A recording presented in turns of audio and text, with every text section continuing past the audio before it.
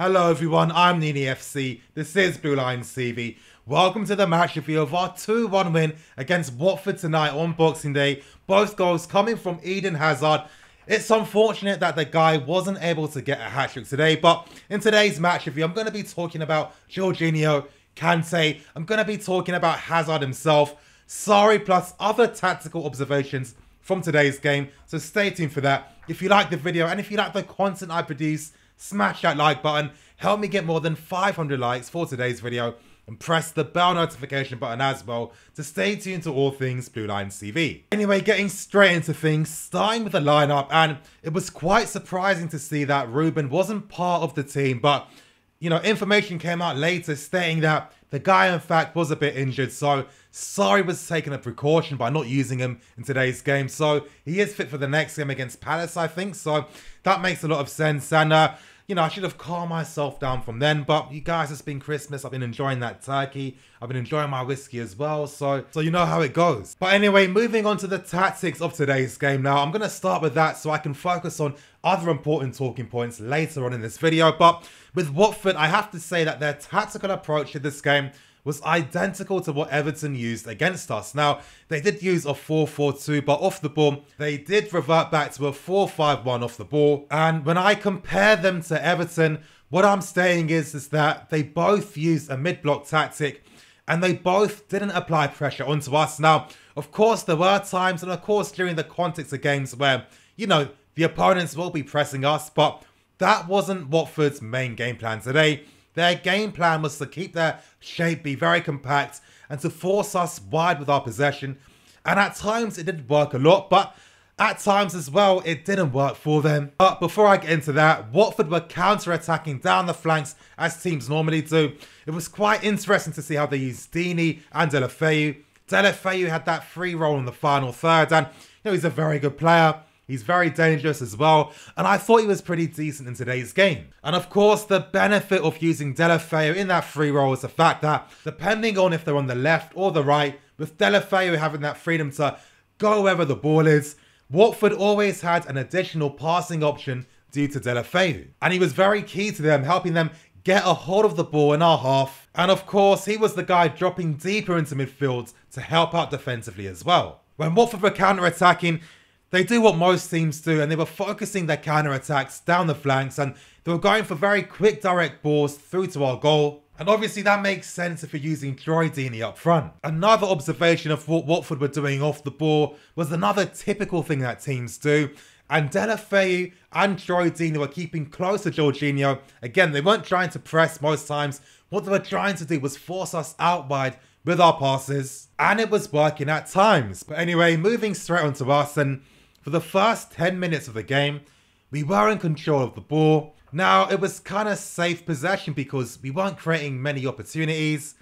And I felt that at times during the first half, Hazard was pretty isolated. Now, I felt like it was tactical instructions from Sarri to tell Hazard to stay further up the pitch and to not drop deep as much. But I feel that as the game went on and because we were really struggling to create those opportunities, I think Hazard must have had some instructions made by Sarri to play his normal game. And I feel that when Hazard was dropping deeper, linking up the play, moving into those spaces, dragging out, you know, Watford's shape and their defenders, that's when we were able to create more opportunities.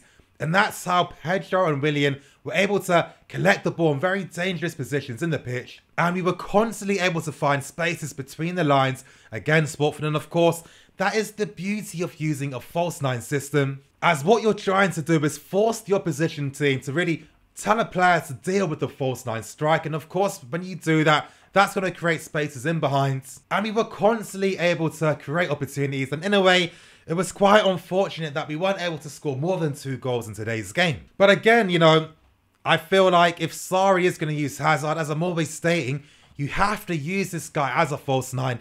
Don't waste him as a forward. You know, Hazard needs to touch the ball when he gets on the ball, he makes things happen. He forces the opposition team to have to deal with him. And I don't think that Sarri can really get him to play as a poacher. Now, the main benefit of using Hazard as a false nine was that it encourages more people to get inside the box. And, you know, at times, you know, it's pretty frustrating. And maybe it's because the team haven't really played too many games using a strikerless front three. But there are still times where we're not getting enough men in the opposition box.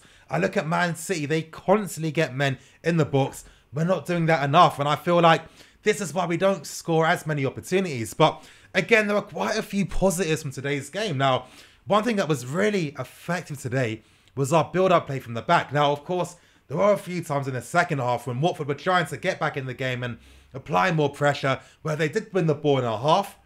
And of course, some of our players did make those individual mistakes, but I think throughout the entire context of the game today, I feel like our build up from the back is fantastic. I mean, the amount of times we turn mistakes into counter attacking opportunities, and it's so frustrating that we're not scoring from these chances because throughout the season we've done this so many times, but we don't have that finishing touch in the final third. And I feel like if we had that person that was finishing the moves, people would remember most of these chances being created and I don't think that people will be questioning whether Sarri Ball is working or not. But anyway, just before the first half ended, we did get the first goal. That did come from Eden Hazard. Very good finish, very good link up play. And again, I feel like we were deserving of that goal because Watford were constantly losing possession of the ball in their own half. And I feel with Cover, he was very quietly impressive again today. Really helped us with our pressing. Played the pass into Hazard, who got onto it.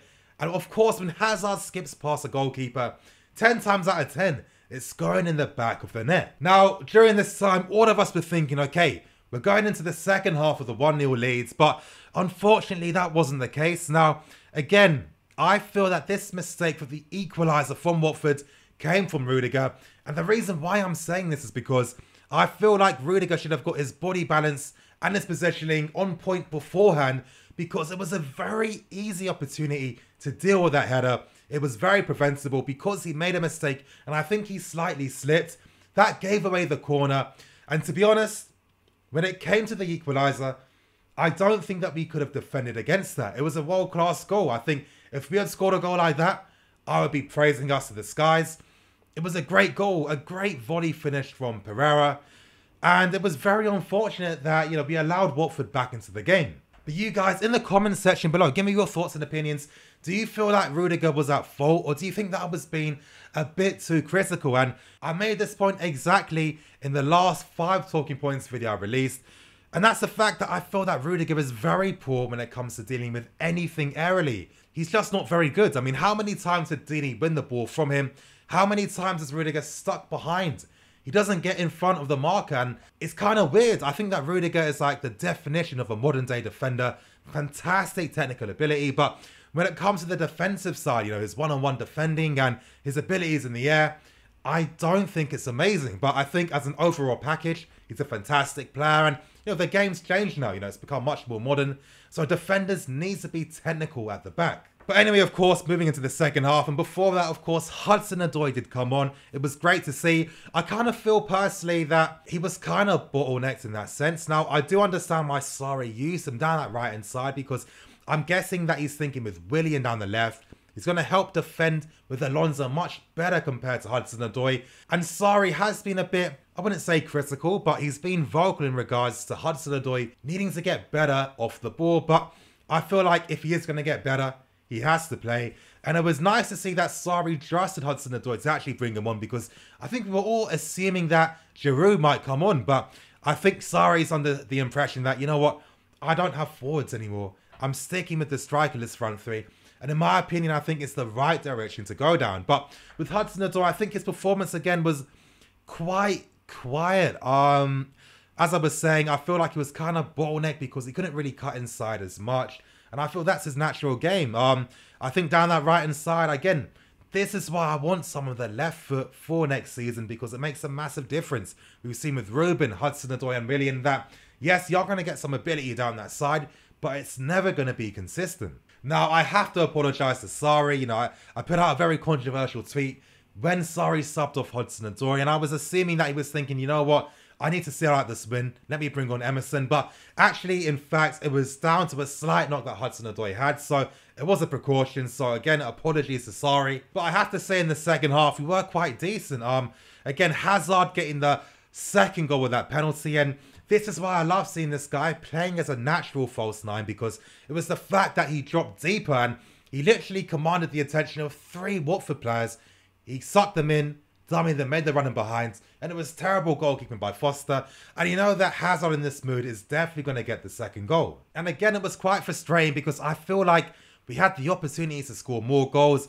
Again, our lack of a finishing touch is making these games much more difficult for us. I think if we had that guy up front, would make the biggest difference for us. But anyway, I want to talk about two more players before I leave now. I'm going to talk about Jorginho. I feel like he was one of the best players today. Some of his passing in particular, some of his forward passes, and I feel like Jorginho is like a David Luiz. He constantly plays a lot of very good vertical passes, but because we don't finish any of these opportunities we create, these moments get forgotten constantly. Jorginho was some very great defensive work off the ball. I think he was very solid. He was immense in helping us play out to beat the press and start the attacks. The guy is the living embodiment of what Sarri ball is. And for everyone that still doesn't understand what Sarri ball is, it's very simple. All you've got to think is we like to have opponents come onto us so we can beat the press, play through them. And when you play through them, you can create those counter-attacking chances in a sense. And that's effectively what Sarri ball is about. And without Jorginho, we couldn't do this as effectively as we do. I mean, some of his cute lob passes he made to Kovacic and Hazard, you know, they started the counter-attacks. And it's like only Jorginho would play a pass like that to start a move. And the guy's just so intelligent and so great technically. It was a very good performance from him. When it comes to Kante, I feel like he worked very hard, but the end products, I feel like he had quite a lot of freedom in the final third, and I didn't see enough. Now, I know that he had the chance at the end. Maybe I'm being a bit too critical, thinking that he should have done better from there. But I don't know. I feel like he should have done much better. I don't know. Kante, again, he's going to be a work in progress. I think when it comes to next season, he's going to be a more complete player. But um, I think naturally at times will be quite frustrating. And again, I feel like if Ruben was playing with his ability to break the lines and push forward, maybe we would have made this game a bit easier for us. But still, it's good we got the win. It's great after Man City lost again. Thank you, Leicester City, for that. But you guys, that's going to bring an end to today's match review. Give me your thoughts and opinions below. Who stood out for you? Who was the man of the match? What moments really disappointed you? Let me know. I'm NiiNii FC. This is Blue Lions TV. Signing out.